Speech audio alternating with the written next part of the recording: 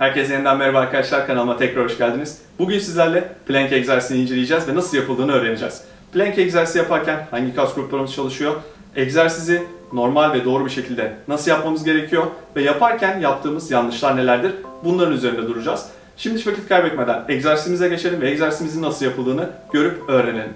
Bizim bugün yapacağımız plank varyasyonu en temel plank varyasyonu olacak. Yani avuç içlerimiz yerde, ayak parmaklarımız geride, vücudumuzu sabit tuttuğumuz plank varyasyonu olacak.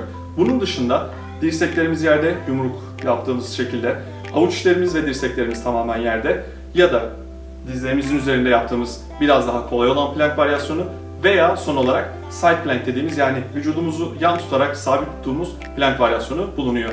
Ama dediğim gibi bizim bugün yapacağımız en temel ve en kolay şekilde yapılacak plank varyasyonu olacak. Bunun için yavaşça pozisyonumuzu alalım. Avuç içlerimiz yerde kalacak. Ayak parmaklarımızı geriye doğru alıyoruz. Avuç içlerimiz omuzların tam önünde kalıyor. Karnımızı özellikle kontrol edeceğiz.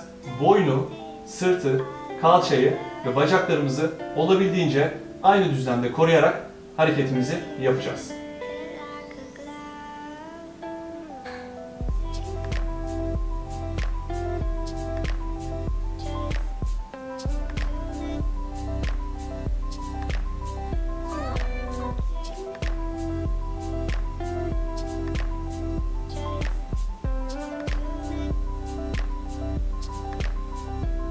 Bu plank varyasyonumuzda birinci olarak çalışan kas grupları transvers abdominis, rectus abdominis, internal oblik ve external obliklerimiz olacak. Egzersizimizi yaparken en fazla yapılan ilk yanlışımızla başlayalım. Pozisyonumuzu aldık. Tüm gövdeyi kontrol etmemiz gerekiyor. Ancak birçoğumuzun yaptığı en büyük yanlış beli çok fazla içeriye düşürerek bütün ağırlığı bele ve kollara yüklemek. Bunun yerine karnı sıkıp kalçayı kontrol edip beli gövdeyle aynı pozisyonda koruyarak pozisyonumuzu alacağız ve egzersizimizi yapacağız. İkinci olarak yapılan en büyük yanlış kalçayı çok fazla yukarıya doğru kaldırmak oluyor. Pozisyonumu aldım, kalçayı yükselttim ve bu pozisyonda egzersizimizi yapmaya çalışıyoruz. Ancak bu da yanlış bir plank pozisyonu. Kalçayı düşürdüm, yine tüm gövdemi kontrol ediyorum ve egzersizimi yapıyorum. Üçüncü yanlışımız ise boynu kontrol etmiyoruz. Yine pozisyonumu aldım. Tüm gövdem olması gerektiği gibi ancak boynumu önde yere doğru sarkıttım ve hareketi yapıyorum. Bu da yapılan en büyük yanlışlardan. Bunun yerine boynumu yukarıya doğru aldım. Gövdeyle aynı pozisyonda korudum ve egzersizimi yaptım.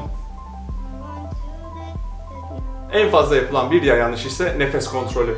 Yani ne demek bu nefes kontrolü? Hareketi yaparken birçoğumuz nefesimizi tutuyoruz ve hareketi yaptığımız süre boyunca nefes almayı bırakıyoruz. Bunu kesinlikle yapmayın.